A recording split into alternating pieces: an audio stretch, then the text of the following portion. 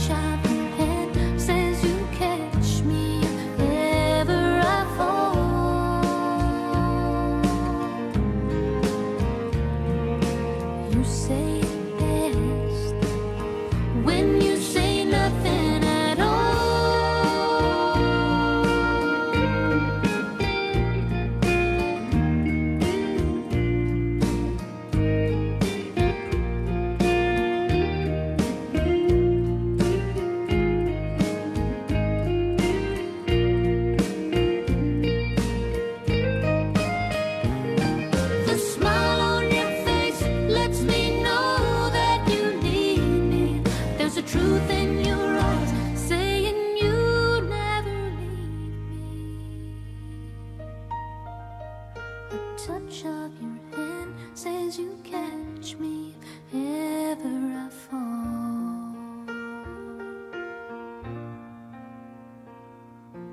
You say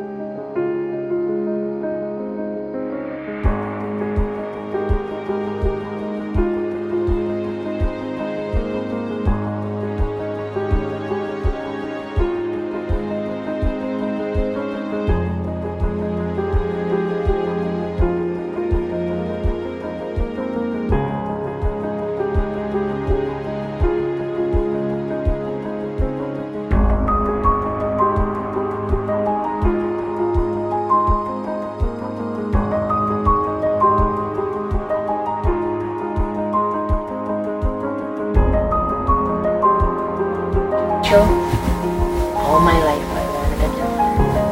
When I was a little girl, I used to think when I grow up, going to have one little child and I want to be a daughter. And I was so happy the day you were born.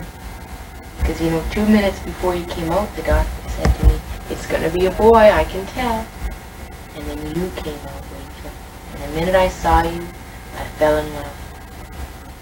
And if if I can do anything in this life of mine, I said I want to teach you all about love. I want to teach you how to love and why love is important, and I want to make sure you feel loved. I want to make sure that every time I hold you, every time I touch you, and every time I talk to you, that you know there's love inside of me for you. I remember when you were not even here yet, when you were inside me, I used to talk to you and tell you lots of things. And the most important thing I want to tell you in life, Rachel, is how much God loves you.